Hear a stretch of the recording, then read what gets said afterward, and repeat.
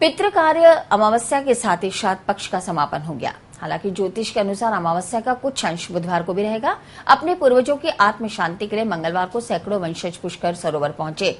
श्रद्धालुओं ने अपने पितरों की आत्म शांति के लिए उनके पिंडदान और तर्पण किए। वहीं स्थानीय गणगौर घाट पर पुरोहितों ने भी सरोवर में तर्पण कर अपने पूर्वजों की आत्म शांति की कामना की।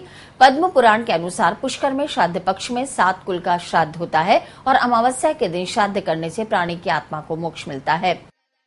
जैसा कि सभी को विदित है, बारह महीनों में पंद्रह दिन पित्त पक्ष के आते हैं। उन पित्त पक्ष के अंदर स्वयं पित्र इंतज़ार करते हैं कि मेरे वंश का मुझे स्मरण करे, मुझे याद करे और श्रद्धा से मेरे निमित्त पुण्य करे।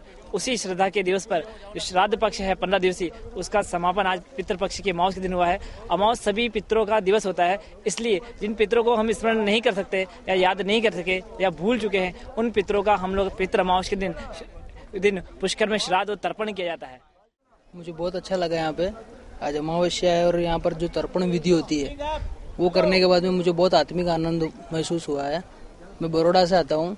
हर साल में अमावस्या को यहाँ पे आता हूँ। मेरे पुत्रों को तर्पण करने के बाद में मुझे एक अलग सा एहसास होता है। आत्मा को शांति मिलती है।